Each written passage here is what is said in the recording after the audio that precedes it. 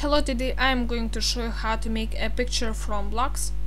So go to file open and open any picture.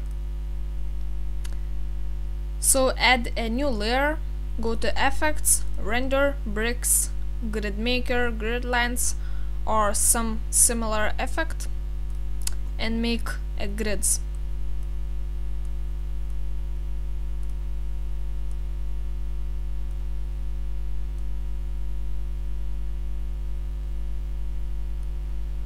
Click OK. Um, if you uh, came out with uh, some lines, uh, some grids with uh, with uh, white blocks, you can go to Effects, Color, Kill Color. Sorry. Uh,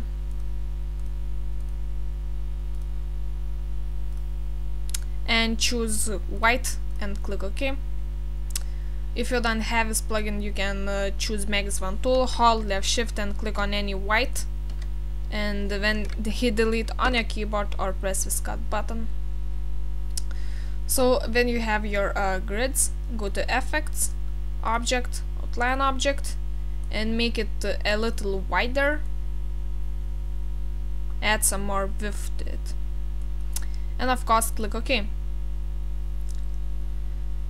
So uh, when you have it, uh, choose Magic Wand tool, change selection mode to, to add, and just uh, click inside these blocks that you want to keep.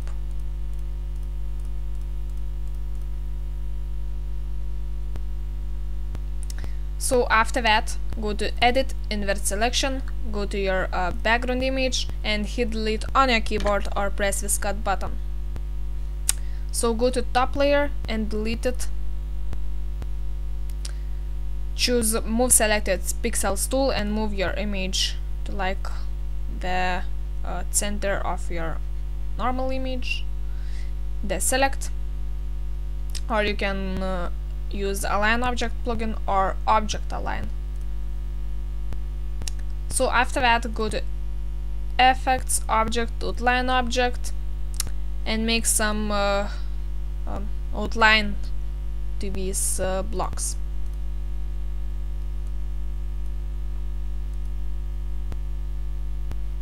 And of course click OK.